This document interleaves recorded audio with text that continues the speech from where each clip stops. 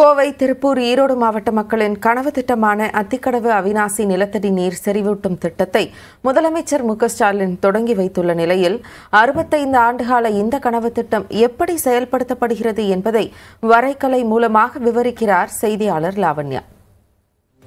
தமிழ்நாட்டில் இருக்கக்கூடிய மூன்று மாவட்ட மக்களின் பெரும் கனவு திட்டம்தான் இந்த அத்திக்கடவு அவினாசி திட்டம்.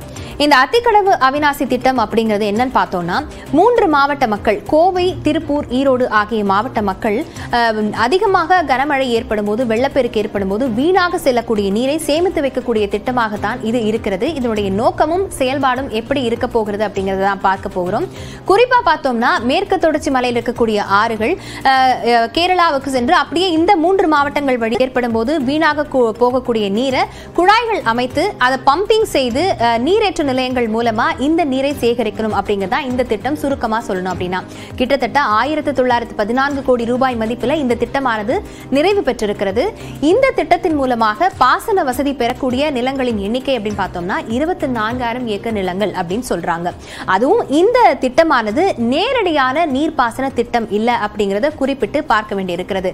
இது என்னன்னா நிலத்தடி நீரை செறிவூட்டக்கூடிய ஒரு திட்டம் தான் இந்த அத்திக்கடவு அவினாசி திட்டம் அப்படிங்கிறத நம்ம கவனிச்சு பார்க்க வேண்டியிருக்கிறது. இருக்கிறது குறிப்பா பார்த்தோம்னா நிலத்தில் நிலத்துக்கு அடியில் பதிக்கப்படக்கூடிய ராட்சத குழாய்கள் மூலமாக வீணாக செல்லக்கூடிய நீர்கள் பம்ப் செய்யப்பட்டு நிலத்தடி நீரை செறிவூட்டுவதற்காக சேகரித்து வைக்கப்படுகிறது. அதுலேயும் பார்த்தோம்னா தொள்ளாயிரத்து ஐம்பத்தெட்டு கிலோமீட்டர் நீளத்துக்காக நீளத்து அளவுக்கு இந்த குழாய்கள் பதிக்கப்பட்டிருக்கிறது. அதுலேயும் இந்த உபரி நீர் செல்லக்கூடிய எழுபது நாட்கள் தான் இந்த திட்டம் செயல்படுத்தப்படும் அப்படிங்கிறதும் குறிப்பிடத்தக்கது. சரி இந்த திட்டம் எப்படி செயல்படும் அப்படின்னு பார்த்தோம்னா கிட்டத்தட்ட ஆண்டுக்கு ஒன்று புள்ளி ஐந்து பூஜ்ஜியம் டிஎம்சி நீர் உபரி நீர் அப்படிங்கிறது பம்பிங் செய்யப்படும்.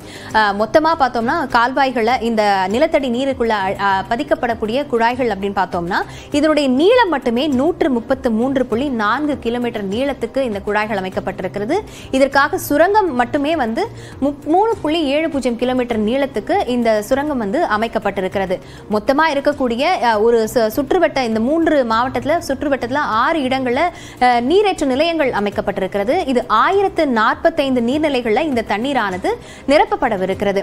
இதில் பிரதான கால்வாய் மட்டும் அதனுடைய நீளம் மட்டும் அப்படின்னு பார்த்தோம்னா முப்பத்தைந்து புள்ளி இரண்டு பூஜ்ஜியம் கிலோமீட்டர் அளவுக்கு இந்த நீளமானது இருக்கிறது.